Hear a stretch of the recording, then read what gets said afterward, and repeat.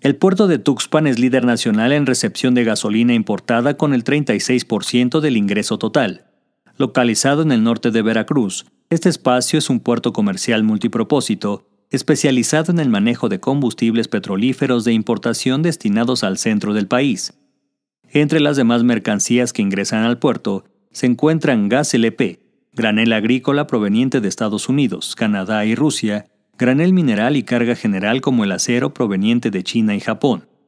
La zona de influencia para el movimiento de carga al extranjero está orientada hacia Estados Unidos, Cuba, Rusia, Canadá, China, Letonia, Ucrania, entre otros. La derrama económica anual que deja el puerto ronda los 1.720 millones de pesos, da 500 empleos directos y genera 800 indirectos. Con información de Ashley Espinosa, Notimex.